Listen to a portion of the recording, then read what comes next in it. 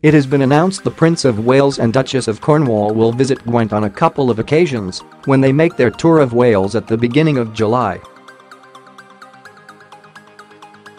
It is understood that the tour will focus on the work of volunteers, people engaged in rural crafts and some important local and national anniversaries that are being celebrated this year.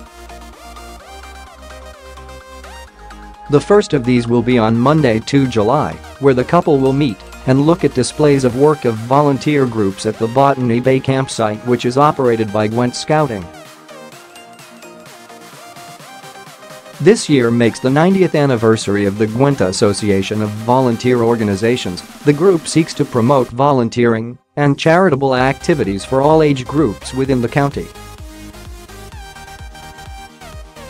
Princess Charles and the Duchess will return to Gwent on the Thursday, where they will begin by meeting staff and patients at the Ysbyty Aneurin Bevan in Ebbw Vale.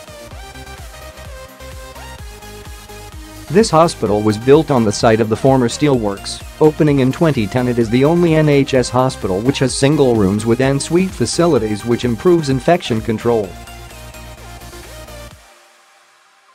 It is also named after the Labour Minister for Health who helped create the National Health Service 70 years ago this year. The couple will then go to Llwyn Celyn near Abergavenny. This is a Grade 1 listed building and one of the finest surviving medieval hall houses in Wales.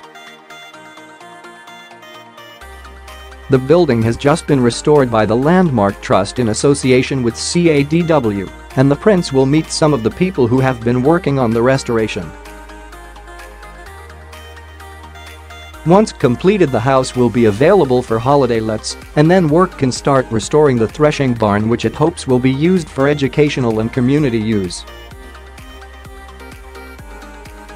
Whilst at the barn, the couple will also attend a meeting of the Black Mountains Land Use Partnership, a group of farmers and graziers who rear and graze animals on the mountainside.